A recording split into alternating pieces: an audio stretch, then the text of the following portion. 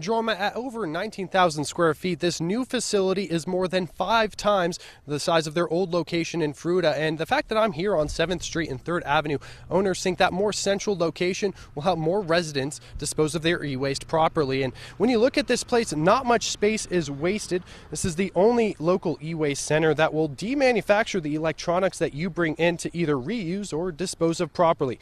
Officials here say electronics that are littered leak lead and other hazardous materials into the water system and air. And for what you can bring, that's anything that plugs in, has a battery, or and a circuit board. Just to get it to their door, and they'll take care of the rest. The best way to recycle something is to find a use for it. That's what we try and do first and foremost. We're also getting more e-waste into our facility so that we can get it not in the BLM, not in the landfills, not in places it doesn't belong, giving our children the ability to have a better future.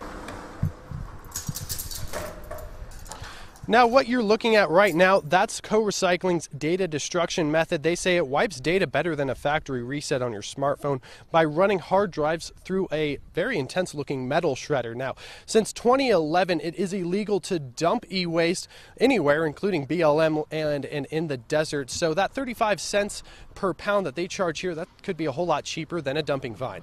Live in Grand Junction, I'm Brandon Thompson, News Channel 5.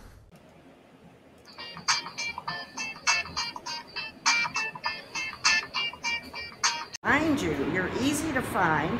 I don't mind being down here with you as an old single lady, and I just, I'm delighted. I will tell all my friends about you.